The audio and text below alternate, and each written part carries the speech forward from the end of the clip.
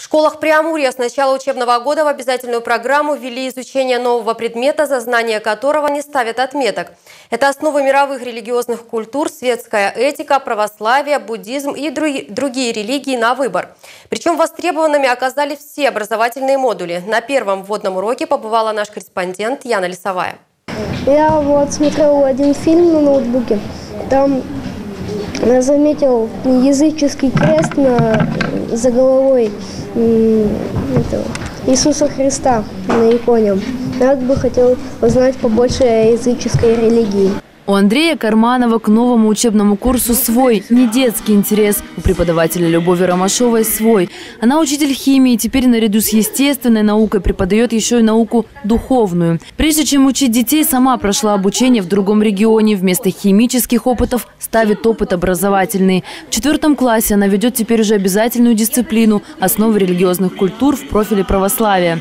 Сегодня у нее первый вводный урок – общий для всех религий и светской этики. Светская этика, она направлена больше все-таки на воспитание моральных качеств детей э, какие-то формирование каких-то жизненных ценностей, ориентиров, то есть духовно-нравственное воспитание. А, в то время как э, все другие модули, в том числе православная культура, то же самое – но только с точки зрения конкретно православного человека.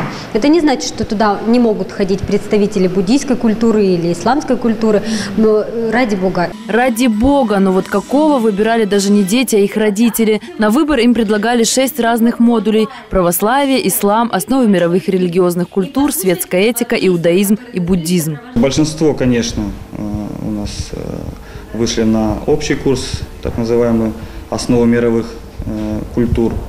На втором месте по выбору стоит э, основа православной культуры и светской этики отдельно. Это два разных блока. Ну и по минимуму основа буддийских, исламских и иудейской культур. Но тоже есть выбор.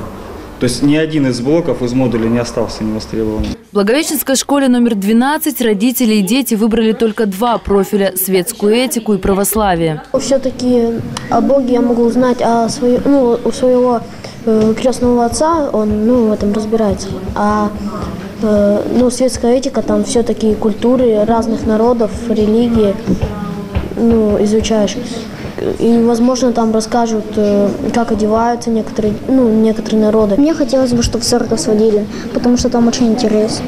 Там много икон, мне нравится икона, где там с Иисусом Христом, там правдоподобно так. И хотя экскурсии в храм в обязательную программу не входят, учителя могут проводить их в качестве факультатива. Иерей Святослав подчеркивает, новый предмет не будет навязывать веру, а только расскажет о ней подробнее. Мы не преследуем цели, да, в частности православная церковь, детей затянуть в храмы. Этого нам не нужно. У нас, как говорится, Информации о церкви сегодня очень много в СМИ. Нам этого не нужно. Главная цель – научить ребенка через культурологический экскурс отличать добра от зла. В епархии просят сообщать, если вдруг кого-то заставили изучать православие или какую-то другую религию, ведь выбор должен быть добровольным. Кстати, новую дисциплину будут преподавать один раз в неделю. Оценки здесь не предусмотрены, ведь веру, какой бы она ни была, оценить очень сложно.